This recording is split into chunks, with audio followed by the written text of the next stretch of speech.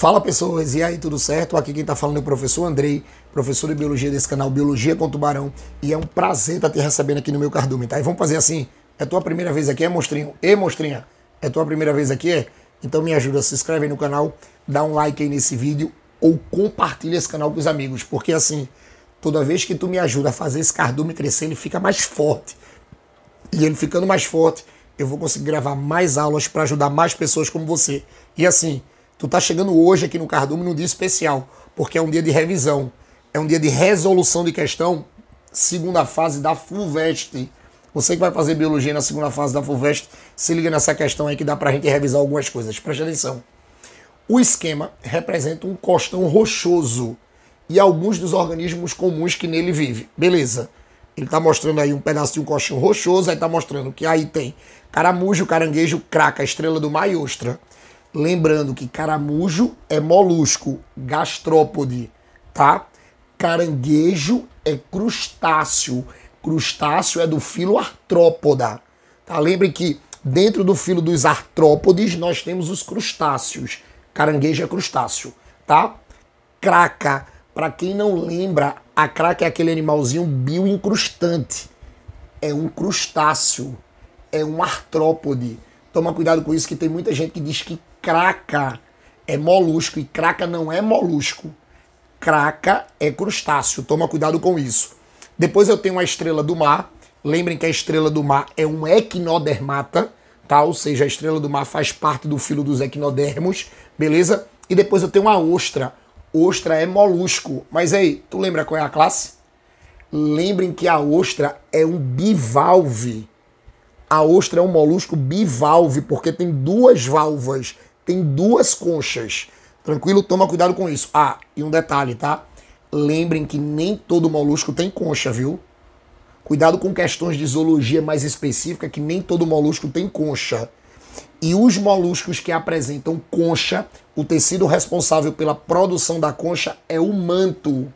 Cuidado com essas questões específicas de zoologia, tá? Aí vê, com base no esquema, responda. Vamos ver o que é que a FUVEST perguntou aí cite um fator biótico e um fator abiótico que pode atuar nesse ambiente. Lembrando que fatores bióticos são fatores vivos, tá? E fatores abióticos, A em biologia significa negação. Abióticos são fatores não vivos. Aí assim, de cara, você vê que esse desenho aí é um desenho de uma comunidade.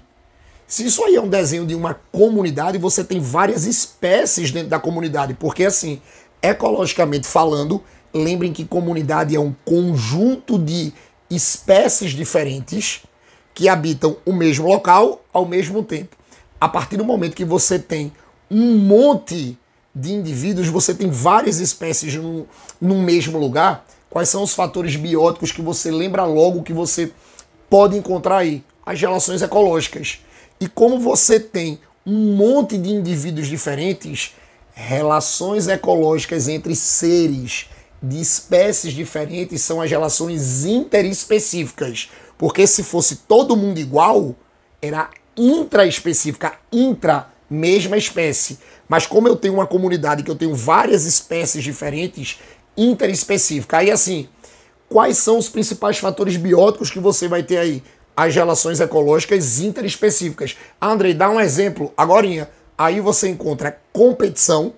Eu tenho competição inter, tá? Entre seres diferentes competindo principalmente por habitat e alimento. Nesse caso aí não é nem casa, é uma competição por alimento, tá? E eu tenho predatismo.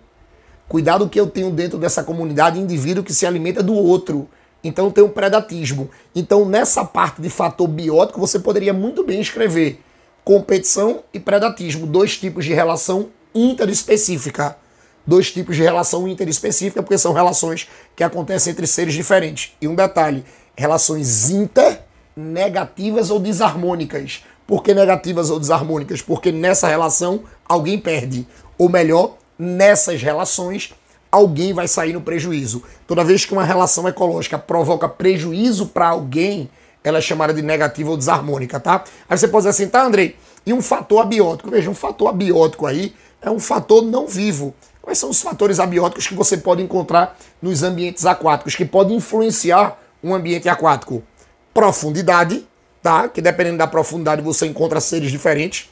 Luminosidade, tá? Que dependendo da, da condição de luz durante o dia, você também tem organismos diferentes e temperatura. A temperatura também influencia. Então, ele só está perguntando que nessa parte aí, quais são fatores bióticos e abióticos. Então, aí, ó, como eu disse a vocês, nós teríamos as relações ecológicas, predatismo e competição, e os fatores abióticos, temperatura, luminosidade e profundidade. Seria aquela resposta para você gabaritar essa questãozinha da FUVEST, tá? Então, isso é para mostrar a vocês que nem toda, olha, nem toda questão da FUVEST, tá? É um bicho de sete cabeças. Agora, você tem que saber o assunto para poder responder a situação, problema que ela vai trazer para vocês. Beleza? Ei, gostou? Então não esquece, tá? Se inscreve aí no canal. Ah, mas eu já sou inscrito, Tituba. Então faz o seguinte, manda pro teu amigo, bota nos grupos, manda a galera se inscrever, tá? Porque quanto mais você me ajuda a distribuir esse cardume, mais aulas eu consigo colocar aqui, beleza? E eu quero encontrar vocês aqui no cardume nas nossas próximas aulas. Beijo no coração de vocês, tá? Valeu!